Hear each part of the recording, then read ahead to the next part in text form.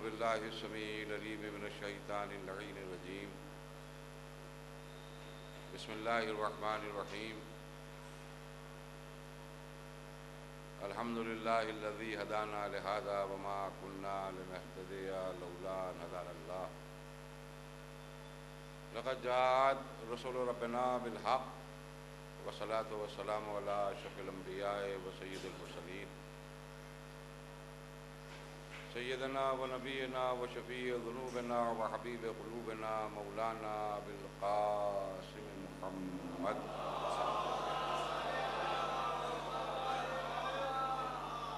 वलबत तयबीन ताहरीन अलमासूमीन अलमजलूमीन वलानतुल्लादाहिम व कतलतहिम व गासिब हकूक़हिम। व मुनकरी फ़ज़ाइलहिम व मसाइबहिम अजमईन बिन योमना हाज़ा इला यौमिद्दीन अम्मा बाद फ़क़त क़ाल अल्लाह तबारक व तआला फ़ी किताबिहिल मुबीन व हुवा अस्दक़ुस सादिक़ीन व क़ौलुहुल हक़ बिस्मिल्लाहिर रहमानिर रहीम वमा खलक़तुल जिन्ना वल इंसा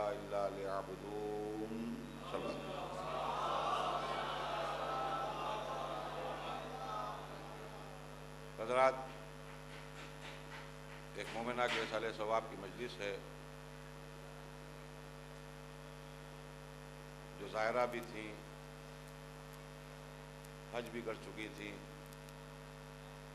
और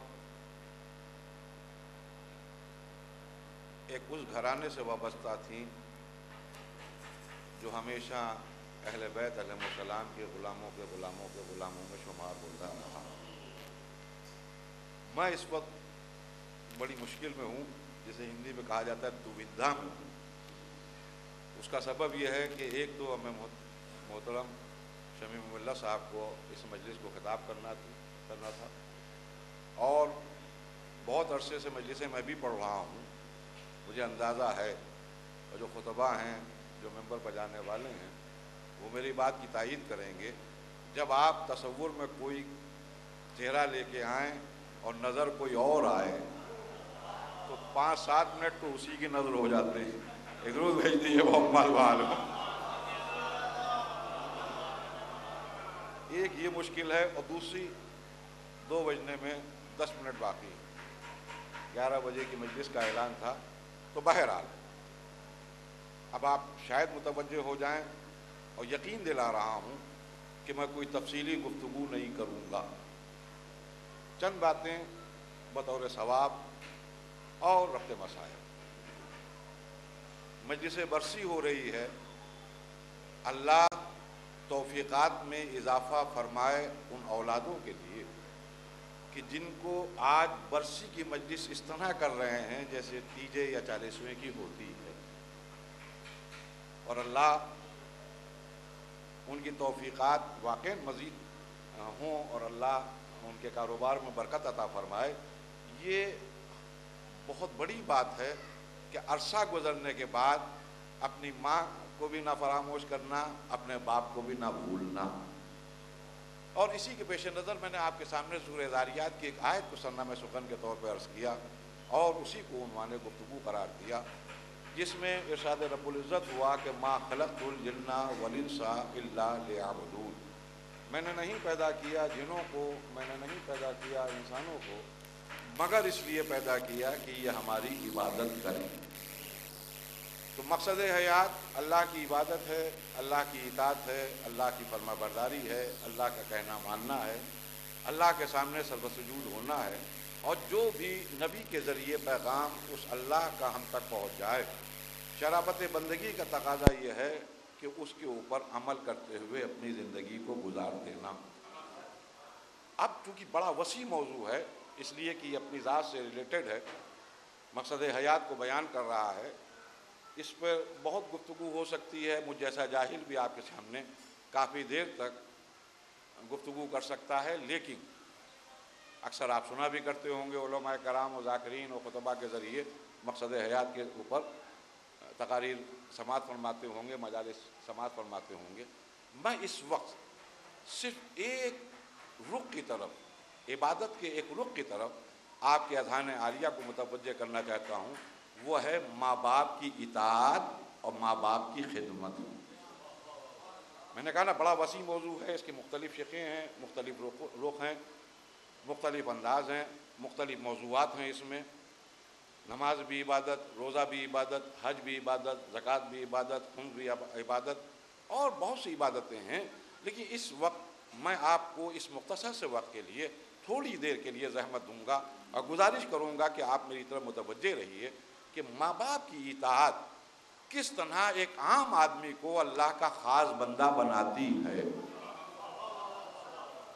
अक्सर हम मुसलमानों की बदकिस्मती ये है कि हम हर उस इबादत को पसंद भी करते हैं, उसके ऊपर अमल भी करते हैं कि जहाँ से हमारी शख्सियत हाईलाइट हो रही हो, जहाँ से हम अपने कालरों को ऊँचे करके, ऊँचा करके समाज के दरमियान अपनी शख्सियत को मनवा सकते हों, जहाँ से लोग हमें आप आबिद समझ सकते हों। देखिए, तवज्जो दिए मेरे जुमलों के ऊपर। हम हर उस इबादत के ऊपर कोशिश करते हैं कि उनको तरजीह दी जाए उन इबादतों के ऊपर, कि जिनकी वजह से समाज में हमारी शख्सियत हाईलाइट हो रही है, ख़ानदान में हमारी शख्सियत हाईलाइट हो रही है। घराने में हमारी शख्सियत हाईलाइट हो रही है। गली के लोग एहतराम और करते हुए नज़र आ रहे हैं। हमने कुछ इबादतों के ऊपर मखसूस अंदाज में फोकस किया और उसी के ऊपर अमल करते रहे। लेकिन इबादत इतनी मुख्तसर नहीं थी जितनी मुख्तसर हमने बना दी। देखिए, नमाज़ का पढ़ना भी इबादत है, रोज़े का रखना भी इबादत है, हज का करना भी इबादत है, ज़क़़त का देना भी इबादत है। मैं अपनी बात क्यों अर्ज़ करूँ? मुझ जैसा जाहिल आप खसूस ज़रूरी नहीं है कि मान भी लें मेरी बात। उलुलाज़म पैगंबर है, बल्कि एक लाख चौबीस हज़ार पैगम्बरों में टाइप टॉप फाइव जैसे कहा जाए, पाँच बड़े नबियों में जिस नबी का शुमार होता है, यानी कलीमुल्ला हज़रत मूसा सलाम। जनाब मूसा का एक वाक़ है जो हमको मुतवजह करता है कि तुम्हारी ज़िंदगी का मकसद क्या है? अगर अल्लाह की इबादत हो कि तो किस तरह इबादत को अंजाम देना चाहिए? कोहतूर पर तशरीफ़ ले गए। अल्लाह से कलाम शुरू किया, मबूद, मैं आ गया तेरा बंदा, मुझे मालूम है मेरा मकसद हयात क्या है। पता नहीं क्या सवाल जवाब होना थे। आवाज़ कुदरत आई कि, मूसा, क्या कह रहे हो? का मैं जानता हूँ कि तेरी इबादत के लिए खल हुआ हूँ। का ये बताओ कि मेरी कौन सी इबादत करते हो? का महबूद मैं नमाज़ पढ़ता हूँ क्या वो तो तुम्हारे ऊपर फ़र्ज़ था? नमाज़ तुम्हारे ऊपर फ़र्ज़ थी। अगर नमाज़ ना पढ़ते तो गुनागार होते। मेरी इबादत कौन सी की? महबूद मैंने रोज़े रखे। का मूसा, वो भी तुम्हारे ऊपर फ़र्ज़ थे? अगर तुम रोज़ा न रखते तो गुनागार होते। अब मुझे नहीं मालूम। लेकिन मूसा जैसा उलुलाज़म पैगंबर जो साहिब किताब भी हो, कलीम का ज़बरदस्त टाइटल भी मिला हो अल्लाह की तरफ़ से जो किसी के नसीब में ना आया। उलुलाज़म पैगंबर भी है, अल्लाह की बारगाह में न जाने अपनी कितनी इबादतों को दोहराता रहा होगा। मैं ये करता हूँ, मैं ये करता हूँ, मैं ये करता हूँ, मैं ये करता हूँ, मैं ये करता हूँ, मैं ये करता हूँ। भाई, मुझसे अगर आप पूछिए कि क्या इबादत करते हो तो मुझ जैसा जाहिल जो आपको बता सकता है, दो, चार, पाँच, दस इबादतें लेकिन मूसा जैसा नबी, मूसा जैसा पैगंबर कितनी इबादतों को दोहराया होगा। लेकिन जवाब कुदरत फ़कत एक आया। वो तुम्हारे ऊपर फ़र्ज़ था। वो तुम्हारे ऊपर फ़र्ज़ था। वो ना करते तो गुनागार होते, वो ना करते तो गुनागार होते, वो ना करते तो गुनागार होते। मूसा, ये बताओ कि मेरी इबादत कौन सी की? तो जनाब, मूसा जैसा उलुलाज़म पैगंबर जिसका जलाल भी मशहूर है, जिसकी हैबत भी मशहूर है, वो कांपने लगा और घबरा के एक सवाल किया, मबूद, अब तू ही बता दे कि तेरी इबादत किस तरह हो सकती है? तो जवाब कुदरत आया कि मूसा, अगर मेरी इबादत करना है तो मेरे बंदों से मोहब्बत करो। देखिए, मैं आपके अजहान आलिया को किधर ले जा रहा हूँ? अगर मेरी इबादत करना है तो मेरे बंदों से मोहब्बत करो। दूर तक ये मस्जिद जा रही है, दूसरी कौमें, कौम के हजरात भी हो सकता है, सुन रहे हों। हम मुसलमानों की बदकिस्मती यह है कि हमने इबादतों को मस्जिद की चार दीवारी में कैद कर दिया। हम मुसलमानों की बदकस्मती यह है कि माह सयाम के रोज़ों में हमने इबादतों को कैद कर दिया। अम्मा, यहाँ ये नहीं कहा जा रहा है कि अपने सिर्फ़ घर वालों से मोहब्बत करो हम बंदों से मोहब्बत करो। काश मुसलमान बंदों से मोहब्बत कर रहा होता तो ना आतंकवादी कहला रहा होता, ना टेररिस्ट कहला रहा होता। रूद भेज दिए मोहम्मद वाल, मोहम्मद।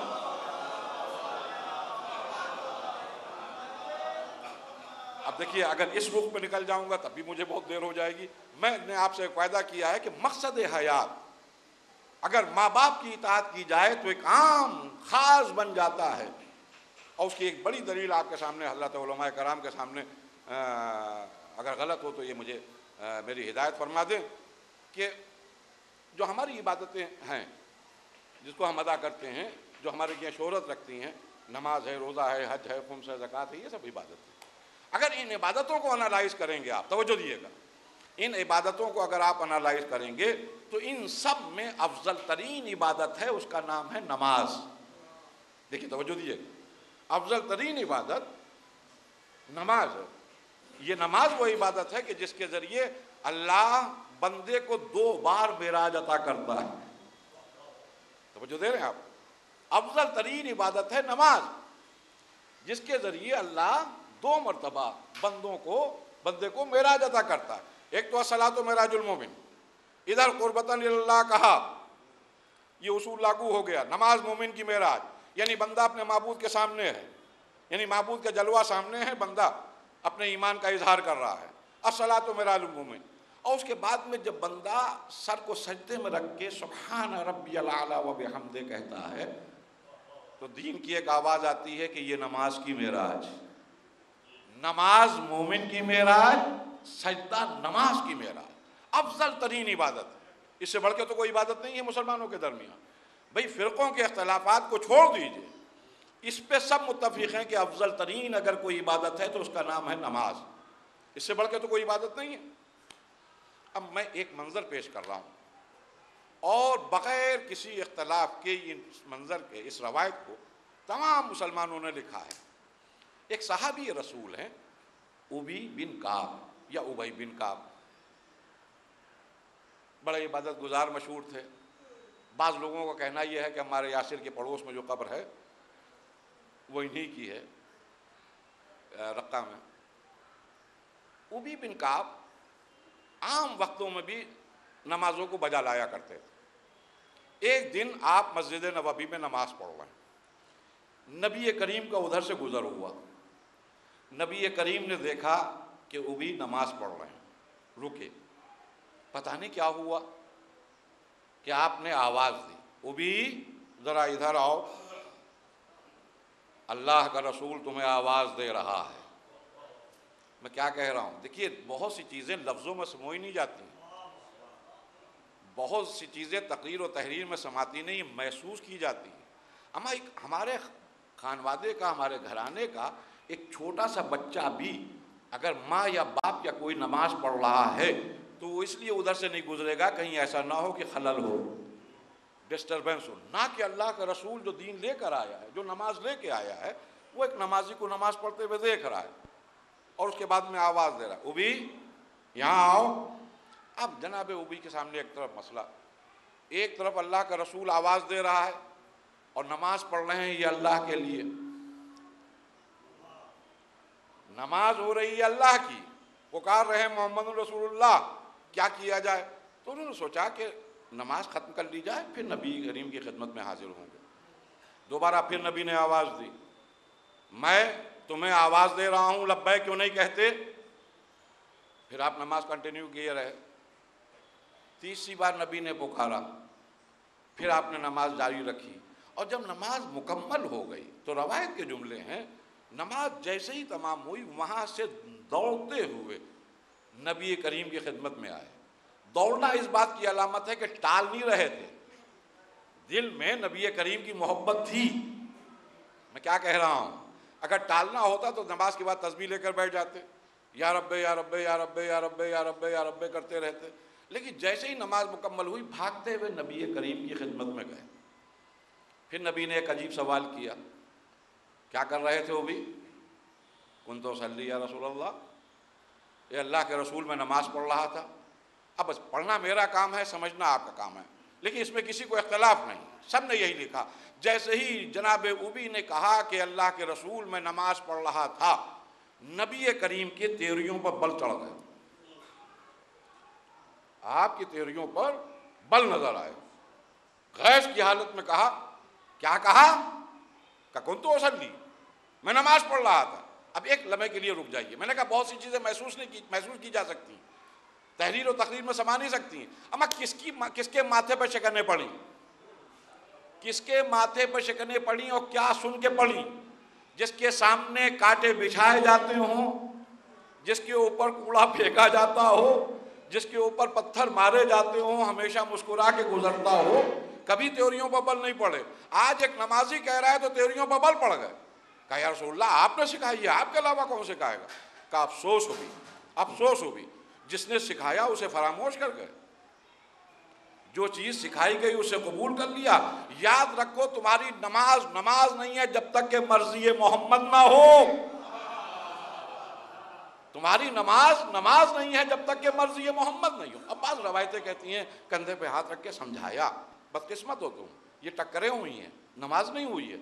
वो भी जब पहली बार मैंने आवाज़ दी थी तो तुम रुकू में होते तो रुकू छोड़ देते, कयाम में होते तो कयाम छोड़ देते, सजदे की हालत में होते तो सजदा छोड़ देते, भागते हुए मेरे पास आते, मैं जिस अम्र के लिए तुम्हें हुक्म देता, उस अम्र को बजा लाते, उसमें जितनी सातें जितना वक्त गुजर जाता, आके मुझे इतला देते और फिर मस्जिद में चले जाते, जो रुकन छोड़ा था उसी रुकन को आगे बढ़ाते, उसी को कंटिन्यू करते। तुम्हें मालूम है, हर लहमा, हर सांस तुम्हारी इबादत में गुजरती। लेकिन अफसोस, तुम्हारी नमाज़ नमाज़ नहीं रही जब तक कि मेरी मर्ज़ी शामिल ना हो। अब इमाम हुसैन के फ़र्क पे आप लोग बैठे हैं, एक जुमला तो मुझे कहने दीजिए, यही फ़र्क है सहाबियत और इमामत का, कि सहाबी की नमाज़ उस वक्त तक के नमाज़ नहीं है जब तक के मर्ज़ी मोहम्मद ना हो, और खुद मोहम्मद का सजदा उस वक्त तक के सजदा नहीं है जब तक मर्ज़ी इमामत ना हो। रुज दिए मोहम्मद वाल, मोहम्मद।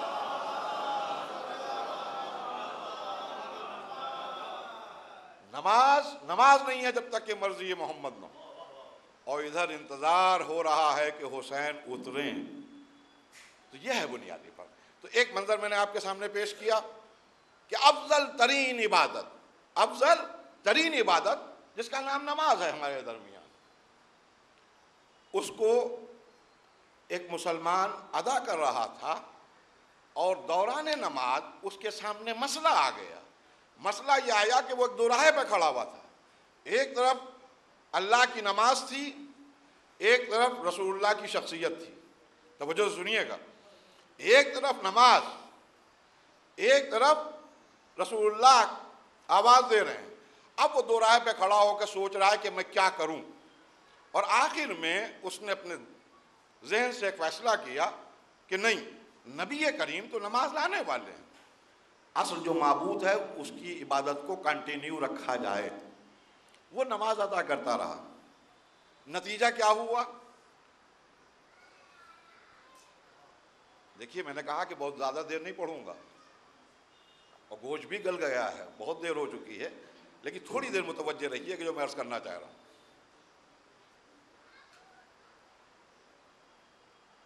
क्या आवाज़ दी? नमाज़ बीच में एक तरफ़, बीच में मुसलमान, दूसरी तरफ़ रसूलुल्लाह। अब उसको चूज़ करना है, उसको चुनाव करना है, उसको इंतखब करना है। उन दोनों में से किसी एक चीज़ को मुंतखब करना है। उसने फैसला किया कि नमाज़ जारी रखो, बाद में रसूलुल्लाह से मुलाकात करूँगा। नतीजे में क्या नज़र आया? रसूलुल्लाह की त्योरियों को बल पड़ गए।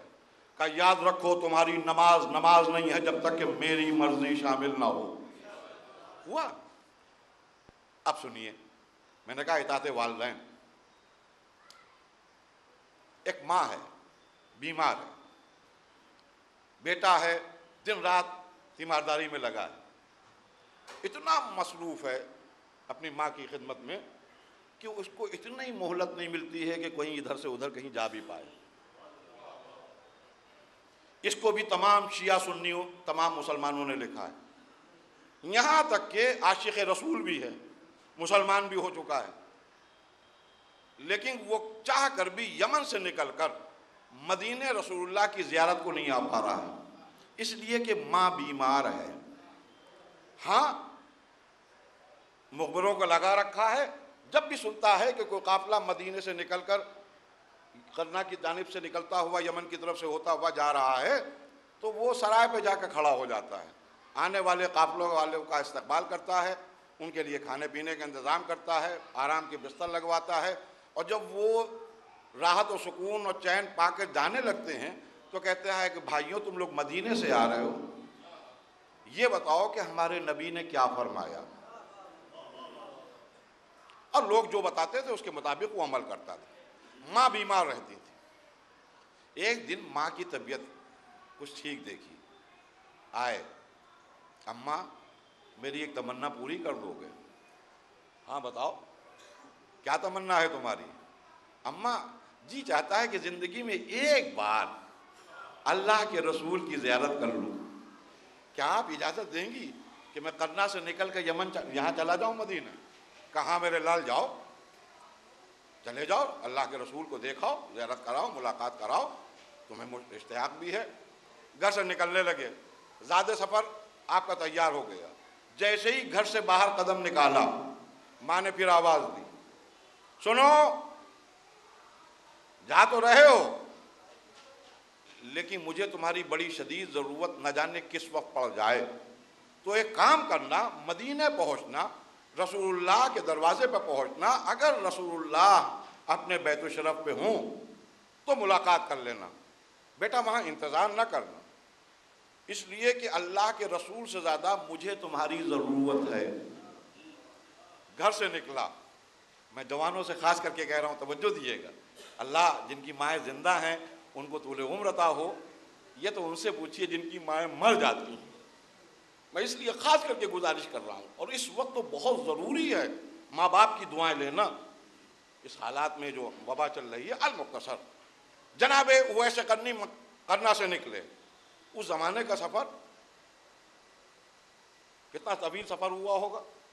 एक अरसे के बाद मदीने पहुँचे, बनी हाशिम के महल्ला दरियाफ्त किया। सरकार के बैतुशरफ का पता मालूम किया और दरवाजे पर पहुँचे। ये लिखा नहीं किताब में। लेकिन आप इंसाफ से बताइए कितना खुश हो रहे होंगे। ज़िंदगी की तमन्ना पूरी होने जा रही है। अभी नाक करूँगा, अभी दक्कुल बाप करूँगा, अभी खटखटाऊँगा और अल्लाह का रसूल आएगा, उसका दीदार करूँगा। नाक किया, दरवाजे को दक्कुल बाप किया। अंदर से आवाज़ आई, कौन? ये नहीं कहा कि मैं वैस करना से आया हूँ। एक ग़ुलाम हाजिर हुआ है। क्या नबी करीम घर में तशरीफ़ रखते हैं? अंदर से आवाज़ आई नबी तो इस वक्त नहीं है। अब दरवाजे पर खड़े हुए हैं, दहलीज पर खड़े हुए हैं। अब सोच रहे हैं क्या किया जाए, इंतज़ार कर लिया जाए। फिर ख्याल आया अम्मा का। अम्मा ने चलते वक्त कहा था, बेटा, अगर घर पे मिल जाए तो मुलाकात करना, उनका इंतज़ार न करना। जी ये चाह रहा है कि रसूलुल्लाह की ज़ियारत कर लें। माँ का हुक्म है कि फ़ौरन वापस आना। अब ये मुसलमान भी दो राहे पे खड़ा हुआ है। ये मुसलमान भी उसी तरह दो राहे पे खड़ा है जिस तरह मस्जिद नबी में उबी बिन काब खड़े हुए हैं। एक तरफ़ नमाज़ है जो अल्लाह की है, एक तरफ़ रसूलुल्लाह है जो नमाज़ लाने वाले हैं। यहाँ पर भी मसला ये है, एक तरफ़ अल्लाह का रसूल है, दूसरी तरफ़ माँ की इतात है, एक तरफ़ अल्लाह का रसूल है और नमाज़ है। एक तरफ़ अल्लाह का रसूल है और अम्मा की इतात है। अब यहाँ पे क्या होना चाहिए? लेकिन जनाब वैसे करनी ने भी वही किया जो उबई ने कहा किया था। उन्होंने नमाज़ को फोकियत दी, नमाज़ को चूज़ किया। इन्हीं ने माँ के हुक्म को चूज़ किया और डेहड़ी को चूमा। ये बाद में बिदत हो गया चूमना। ये बाद में बिदत हो गया चूमना। डेहड़ी को चूमा। गायबाना तौर पर सलाम किया और वापस करना की तरफ़ चले गए। यहाँ पर क्या रिएक्शन होना चाहिए था? भाई लखत खाना लगूँ फिर रसोल्ला है वो हसना, तुम्हारे लिए रसूलुल्लाह की ज़िंदगी बेहतरीन नमूना है। यहाँ पर वही शख्सियत एक दो मंजर हैं, दो मुसलमान हैं। एक तरफ़ अफजल तरीन इबादत अदा कर रहा है एक शख्स और बीच में आ गए। एक तरफ़ माँ के इतात में अपनी ज़िंदगी वक्त दिए हुए बेटा, और बीच में नबी आ गए। यहाँ पर क्या होना चाहिए था? लेकिन तमाम रवायात यही कहती हैं, नबी करीम जो वापस पलटे तो बजाय बैतुशरफ में जाने के वहीं दरवाजे पर रुक गए। बहुत देर तक चारों तरफ़ देखते रहे। ऐसा लगा कि कोई चीज़ गुम हो गई हो। यहाँ तक कि घबरा के असाब रसूल ने सवाल किया, या रसूल्ला खैरियत तो है? क्या हुआ? कहा, तुम्हें क्या खबर? मैं यहाँ पर अपने एक अज़ीज़ की खुशबू महसूस कर रहा हूँ। का कौन? का तुम्हें क्या खबर? मैं उवैस के नूर की खुशबू महसूस कर रहा हूँ। वालेकुम सलाम, या उवैस। अब पढ़ना मेरा काम था, समझना आपका काम है। एक दूर भेज दिए, मोहम्मद वाल, मोहम्मद। आप गौर फरमा रहे हैं, जो कर रहा हूँ। मैंने, क्योंकि मुझे भी मौके की नज़ाकत का एहसास था, मैं भी बहुत देर से बैठा हुआ आप लोगों की कैफियत को देख रहा था। ज़ाहिर है कि देर हो चुकी है, और बाज़ वक्त ये होता है कि बहुत से लोगों को जाना भी होगा तो मैंने इसीलिए खाली इस मंज़र को आपके सामने नकल किया कि माँ की इतात बाप की फर्मा बरदारी, ये बड़ी बड़ी इबादतों से भी अफजल है। बजाय इसके नबी करीब जनाब उवैस पर नाराज़ होते, जिस तरह आपने उबी से कहा था, उबी! क्या नमाज़ पढ़ी तुमने? मेरी इतात नहीं, मेरी मर्ज़ी नहीं। तुम्हारी नमाज़ नमाज़ नहीं है। यहाँ पर भी कहना चाहिए था, मुझे ऐसा चाहने वाला नहीं चाहिए। जो अपनी माँ के कहने में इतना हो कि रसूलुल्लाह मेरी जियारत भी ना करे। लेकिन यहाँ पर एक बुलंदी पे खड़े हो गए। और बुलंदी पे खड़े होकर जब लोगों ने सवाल किया कि यूएस कौन है? क्या सहाबियों में से है? नहीं, सहाबियों में से तो नहीं है। फिर कौन है? का ताबईन की पहली फहरिस्त का पहला नाम है। कहाँ का रहने वाला है? का यमन का करना का रहने वाला है। या रसूल्ला इसके बारे में कुछ इर्शाद फरमाइए। का सुनो, मेरे विशाल के बाद जो शख्स भी उवैस के पास चला जाएगा, चाहे कितना बड़ा क्यों ना गुनागार हो, अगर उवैस ने उसके हक में दुआ कर दी तो अल्लाह बख्श देगा। अच्छा ये बदकिस्मती अजीब है। मुसलमान जनाब उवैस रहमतुल्लाह अलैह की इस बात को तो मानते हैं। कि अगर ताबई चाहे तो बख्शवा दे। और जो लहमों का लहमी हो। भेज दिए मोहम्मद वाल, मोहम्मद।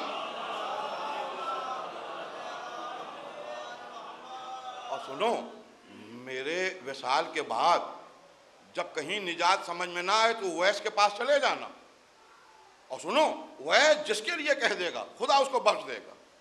अब यहाँ से एक आखिरी मंजर। मैंने कहा, बड़ा, पूरा बुरा वाक्य मुझे नहीं अर्ज़ करना है और ना किसी और रुख की तरफ़ आपको, आपके अजान आलिया को मोड़ना यहीं से फ़जाइल आल मोहम्मद, क्या कहना? हम क्या हमारी बसात क्या? हम क्या हमारी औकात क्या? क्या हम आल मोहम्मद को समझ पाएँ? अभी किसी शायर ने बड़ी अच्छी बात कही थी, हम अभी कंबर के पाँव की धूल तो जानते नहीं है कि कहाँ पर है। हम क्या जाने अली और औलाद अली कौन है? एक मंजर। यहाँ से फजीलत मौलाए मुतकियान भी है। और क्या कहना? अजमत मौलाए मुतकियान जनाब उवैस के लिए अक्सर आप किताबों में जाकर पढ़िए तो आपको मिल जाएगा कि बाद विसाल रसूल, मदीना, मक्का ताइफ मुख्तलिफ़ इलाकों के लोग काफले दर काफले यमन की तरफ़ जा रहे होते थे। ज़रूरी नहीं है कि वो बिज़नेस वाले थे, व्यापारी नहीं थे। ये जाते थे उवैस के पास, अगर किसी से कोई गलती हो जाए, कोई ख़ता हो जाए तो माफ़ी के तलबगार होते थे उवैस।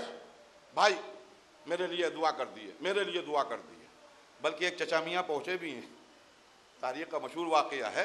कहने लगे, बड़े कर्रोफर से पहुँचे। ज़ाहिर है कि हक़ अली पर कब्ज़ा जमाए हुए हैं। लोग झुक झुक के सलाम कर रहे हैं। और ज़ाहिर है कि दुनियादारों का यही उसूल होता है। झुक झुक के सलाम कर रहे हैं। वैस के पास पहुँचे, वैस, मेरे हक में दुआ करते हो? अली का चाहने वाला, जो नस्लों को देख कर तलवार चलाए। उसी का गुलाम एक बार आने वाले की सूरत देखता है सवाल सुनता है क्या लतीफ़ जवाब दिया? कहा भैया मैं जुमला मोमिन और मोमिनात के हक में दुआ करता हूँ। अगर तुम मुसलमानों में से होगे अगर तुम मोमिन में से होगे तो मेरी दुआ तुम तक पहुँचेगी। ये, ये वाक्य भी तारीख में मिलता है। जनाब वैसे करने के पास काफ़ी लोग जा रहे हैं, वहाँ से लोग आ रहे हैं। अच्छा ये भी अंडरस्टूड था। जाने वालों को पता रहता था, ये आने वाले कहाँ से आ रहे हैं? और आने वालों को भी पता होता था, ये जाने वाले किस हम जा रहे हैं। सब मालूम था कि निजात का मरकज अगर कोई है तो उसका नाम उवैस है। अब अजमत मौलाए मुतकियान के लिए बस एक जुमला अर्ज़ करूँ, वो आप सब वाकिफ हैं। सिफीन का मैदान। मौलाए मुतकियान अपने खेमे से बाहर तशरीफ़ लाए। अयुहन्नास आज ही का वो रोज है कि जिस दिन एक हज़ार लोग मेरी फौज में शामिल होने के लिए आ रहे हैं।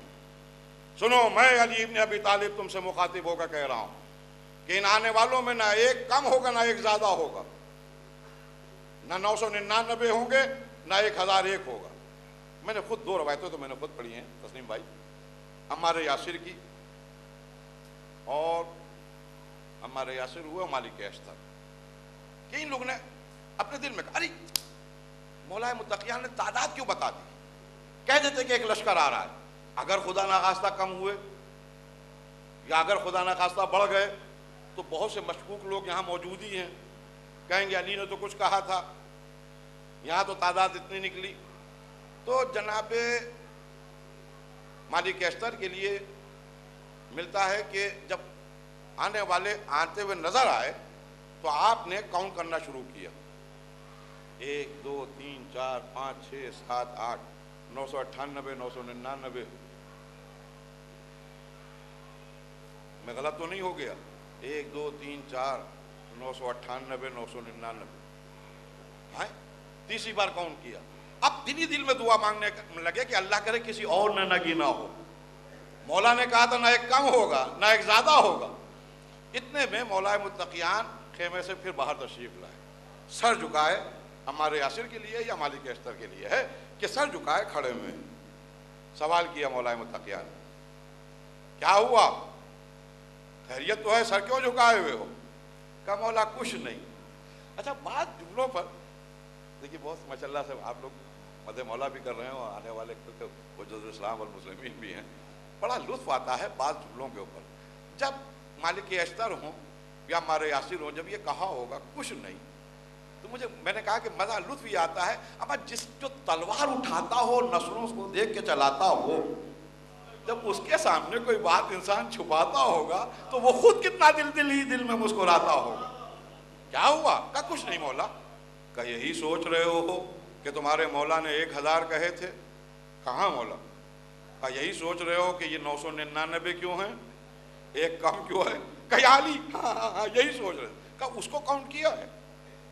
वो देखो, वो तो एक आ रहा है, सहरा में तनहा। का मौला कहाँ? का वो देखो, अब जो लोगों ने गौर से देखा का वो एक आ रहा है। का वही तो एक हजारवा है। एक बात और समझ में आई। सहाबी गिन के बताएगा।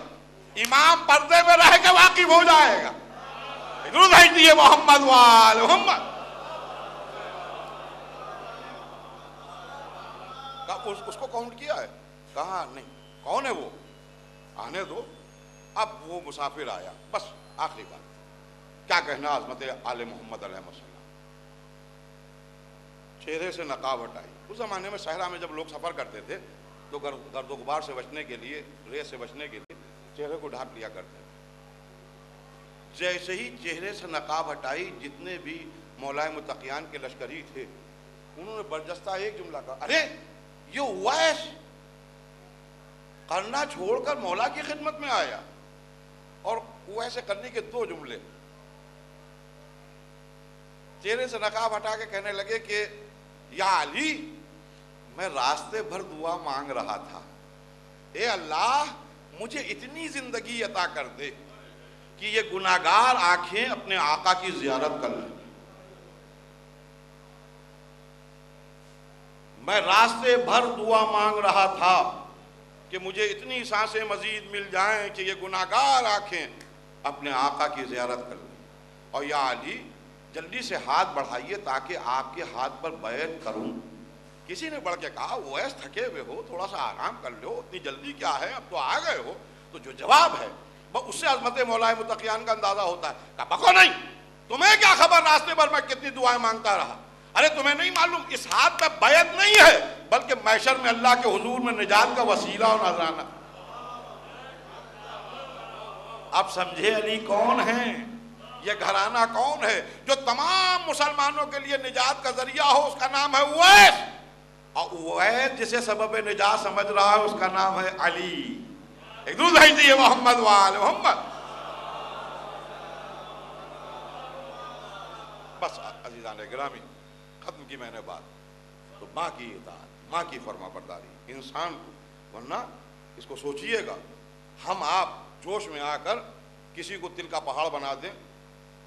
क्या कहना? अरे वाह वाह वाह वाह वाह सुबह अल्लाह सुबह अल्लाह न शेर में जान है, न शेर मौजू है। वाह वाह वाह आपकी मर्ज़ी है। लेकिन मोहम्मद वही कहेगा जो हकीकत होगी। नबी वही कहेंगे जो हकीकत होगी। माँ मोहम्मद रसूल। किसी आम बशर को यह कहना कि मैं नूर की खुशबू महसूस कर रहा हूँ। ये इंसान की रिफत का ऐलान है कि जिसने माँ को की इतात कर ली और माँ को राज़ी कर लिया और जिसने बाप की इतात कर ली और बाप को राज़ी कर लिया। और फिर अजादारों मैं बुज़ुर्गों से माजत के साथ, अपने नौजवानों से और जहाँ तक मेरी आवाज़ जा रही है, उन तमाम नौजवानों से मुखातिब होकर अक्सर मैं एक बात कहता हूँ, इस वक्त भी कह दूँ कि मैशर के हंगाम में हो सकता है कि आम मुसलमान ये कह के बच जाए ये अल्लाह, हम पढ़े लिखे नहीं थे। बचपन में बाप मर गए थे, यतीम हो गए थे। आजूके की परेशानी थी। बचपन से काम करना पड़ा, आजूके का इंतज़ाम करना पड़ा। हमें नहीं मालूम कि माँ की इतात क्या होती है, बाप की इतात क्या होती है। लेकिन भाई, एक बात गाठ बाँध लीजिए। आज़ादारा ने सैदुलशहोदा मातमदारा ने इमाम हुसैन, शिया ने इसना आशरी मैशर के हंगाम में कोई एक्सक्यूज़ नहीं रखते इसलिए कि ये फ़र्श अदाय हुसैन, ये वो यूनिवर्सिटी है, ये वो इदारा है कि यहाँ पर अनपढ़ भी आएगा तो बड़े बड़े आलिमों से बेहतर नज़र आएगा। इसलिए कि हर रुख से गुफ्तु हुई है इस मंबर हर रुख से गुफ्तु हुई। और फिर सबसे बड़ी बात है, हम मज़ादार, चाहे जितने मॉडर्न हो जाए अल्ट्रा मॉडर्न हो जाए दीन से गाफिल हो जाएँ, लेकिन ये मेरा मुशाहिदा भी है और आप सबका भी मुशाहिदा होगा। मुहर्रम का दस दिन, इंसान बेकरार होता है कि किसी तरह या अपने वतन चले जाएँ, या कहीं मजलिस हो रही हो तो उसमें शिरकत कर ले। और ये हुसैन का सदका है कि अपने गम में बुलाते हैं और शरीयत के मौजूद को सुनवाते हैं। ये एक अलग मौजू खुदा की कसम, हमारे सामने करबला है। मैं जवानों से अपने यही कहूँगा कि भाई, हमेशा इस बात का ख्याल रखिएगा कि करबला ने हमको माँ बाप की इतात का भी सलीका सिखाया है। और मोहम्मद की बहादुरी आप देख सकते हैं करबला के मैदान में। ये जनाब कासिम का जो लाशा पामाल हो रहा है। इतनी दूर तक एक बच्चा लड़ता हुआ चला गया विदाउट आर्मर बगैर जिरा के। इसके पीछे भी माँ है। शब आशूर, उम्मे फरवा ने फ़कत इतना कह दिया था कि मेरे लाल, तुम्हारा बाप इस दुनिया में नहीं है। बेटा, बड़ी बहादुरी के जौहर देखा ना। बेटा, मेरे दूध की लाज रख लेना है। मासूम बच्चा, इतनी दूर चला गया कि आखिर दुश्मनों से में घिर गया। इसी तरह जनाब मुस्लिम इबन अवसजा के बेटे का वाक़ है वो आप सब सुना करते हैं। फिर मैं नौजवानों को मुतवजह करने के लिए इसलिए कि हमारा नौजवान सबसे ज़्यादा अगर किसी को चाहता है और मोहब्बत करता है, और किसी के ऊपर जान कुर्बान करने को हर वक्त तैयार रहता है तो उसका नाम है नामी, इसमें ग्रामी हज़रत अबुल फजील अब्बास। मैं अक्सर जवानों से कहता हूँ, भाई, हम जरा से जवान होते हैं, कमाने लगते हैं कुछ रोज़गार मिल जाता है, हाथ पैरों में कुत आ जाती है, खून रगों में दौड़ रहा होता है, हम आपे से बाहर हो जाते हैं, माँ पुकार रही होती है, उसकी आवाज़ के ऊपर लब्बैक नहीं, बाप कुछ कह रहा होता है, उसकी बात की कोई समात नहीं। याद रखिए, लाख आपके बदन में कुत अल्लाह दे दे, लेकिन तारीख़ इंसानियत में कोई जनाब अब्बास से ज़्यादा ना ताकतवर पैदा हुआ था, ना हुआ है, ना होगा। कार्य कर रहा हूँ जिसकी निगाहों के ऊपर पूरा लश्कर ठहर जाता हो। जिसका नाम सुन के बड़े बड़े सामन बड़े बड़े वीर बड़े बड़े पहलवान घरों में दुबक जाते हो। मैं क्या कर रहा हूँ? वो तो हमारे लिए मशा ले रहा हो। यहाँ जरा सी कुत आई, आपे से बाहर हो गए। बूढ़ी माँ है, बूढ़ा बाप है। जो समझ में आया करते हुए नज़र आए। जिस तरह मुखातिब होना चाहा, उस तरह मुखातिब हो गए। इस बात का भी ख्याल नहीं रहा कि इन्हें पाला है, इन्हें परवरिश की है इन्होंने इतना बड़ा किया है। लेकिन जोम, जवानी का जोम, दौलत का जोम, नशा। मैं अक्सर एक बात कहता हूँ मुतवजह होइए जनाब अब्बास से दर्श लिए जिसकी हैबत, जिसकी शजात, जिसकी बहादरी, जिसकी कुत मैं एक मंजर आपके सामने अर्ज़ करूँ, अट्ठाईस सौ जब मदीना, इमाम हुसैन सलाम रुखसत हो रहे हैं। अहल मदीना जम्ब गफीर, आसपास के करीब, आसपास के गाँव, आसपास के कस्बे के लोग सब जमा हो गए हैं रसूल के नवासे को रुखसत करने के लिए। और मजमा है। तजस्स में भी है कुछ। कुछ सवाल कर रहा है। कुछ कुछ रो रहे हैं। कुछ हाथ जोड़ रहे हैं। फर्जंद रसूल ना चाहिए हमारे हाथ ही हैं हमारे रहबर हैं। इतने में जब अमारियाँ तैयार हो गई और शहजादियाँ महमिलों में बैठने का वक्त आया शहजादियों के तो इमाम हुसैन ने जनाब अब्बास को बुलाया। अब बुला के कहा कि, अब्बास, इन अहल मदीना से कह दो कि अपने अपने घरों में चले जाएँ इसलिए कि रसूल की नवासियाँ महमिलों में ये अरबाब गम करबला बेहिसों के लिए नहीं है, करबला बेगैरतों के लिए नहीं है, करबला साहिबान एहसास के लिए है, साहिबान इकदार के लिए। इंसाफ से बताओ, जब इमाम हुसैन सलाम ने जनाब अब्बास को हुक्म दिया और मदीने में सन्नाटा छा गया और बड़ी शान से जब ये बीबियाँ मदीने में सवार हुई होंगी महमिलों में, जब ग्यारह मुहर्रम को हाथ पसे गर्दन बंधे में होंगे और बेकजावा ऊँटों में बिठाई जा रही होंगी, उन बीबियों के दिलों में क्या गुजर रही होगी? यही वजह है कि करबला की हर बीबी फुरात कर कर के आवाज़ देती थी, गैरतदार, ए मेरे भैया, तुम कहा हो? जैनब को आके देखो। जजाकुमुल्लाह, खुदा आपको कोई गम न दे, सिवाय गम इमाम हुसैन सलाम के। जिसकी हैबत का आलम यह था कि अब्बास रजा महल मदीना से कह दो कि अपने अपने घरों में चले जाए। और जैसे ही एक बलंदे पे खड़े होकर जनाब अब्बास ने कहा अहल मदीना, खबरदार, रसूल जादियाँ अब महमिलों में सवार सवार होने जा रही हैं। अपने अपने घरों में चले जाओ, जब तक कि दूसरा हुक्म सादिर ना करूँ। खबरदार, कोई घर से बाहर ना निकले। अम्मा, आप रवायात जाकर देखिए, कर्फ्यू लग गया। अब किसी में इतनी ज़रूरत नहीं है कि दरवाज़ा भी खोल सके।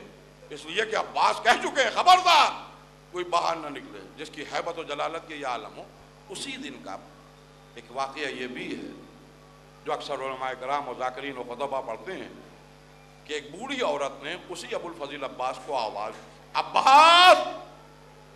जैसे एक बच्चा, छोटा सा बच्चा कांपता हुआ जाता हो, वही अब्बास, जो घोड़े पर सवार हो तो ज़मीन पर पाँव खत देते हुए नज़र आते हो वही कांपता हुआ उस बुज़ुर्ग के पास पहुँचा, जी अम्मा, आओ मेरे साथ। और हाथ पकड़ा और कब्र रसूल की तरफ़ ले जाने लगी। रास्ते भर जनाब अब्बास में इतनी ज़रूरत और हिम्मत नज़र नहीं आ रही है कि एक बार रुक के ये पूछ सके कि अम्मा कहाँ ले जा रही हूँ? अम्मा, आका तशरीफ़ ले जा रहे हैं, आप कहाँ ले जा रही? खामोश। एक छोटा सा बच्चा जैसे सहमा हुआ चलता है और यहाँ तक के कब्र रसूल पे पहुँचने के बाद एक हाथ जनाब अब्बास का उमल बनी ने कब्र रसूल पर रखवाया और सर से रिदा हटाई, दूसरा हाथ अपने सर पर रखा और कहा, कसम खाओ मेरे सर की और कसम कहो कब्र रसूल की। जब तक कि ये तुम्हारे बाजू सलामत हैं, किसी में इतनी ज़रूरत और हिम्मत नहीं हो कि आका की तरफ़ देखने पाए। और जैसे एक नन्ना सा बच्चा हज़ारों वायदा करता है, उसी तरह फजील अब्बास वायदा कर रहे हैं, अब्बा, जब तक कि मेरे, मैं वायदा करता हूँ, जब तक कि ये बाजू सलामत हैं, किसी में इतनी ज़रूरत और हिम्मत नहीं होगी, कोई आका की तरफ़ देखने पाए। ए हज़ारों जब फुरात के किनारे बाजू कलम किए जा रहे होंगे, सर पे गुर्स पड़ रहा होगा, जहाँ हज़रत ने हज़रत को आवाज़ दी होगी, वहाँ मदीने का रुक करके कहा होगा, अम्मा, जब कैद खाने से ये लोग आज़ाद होके पहुँचे तो पूछ लिएगा, जब तक के बाजू सलामत रहे। अरे किसी में इतनी ज़रूरत और हिम्मत नहीं थी कि कोई आका की तरफ़ देखने पाए। लेकिन अम्मा, मेरे बाजू कलम हो गए। अब खेमों में आग भी लगेगी। सैदानियों के सरों से चादरें भी छीनी जाए दयार बदयार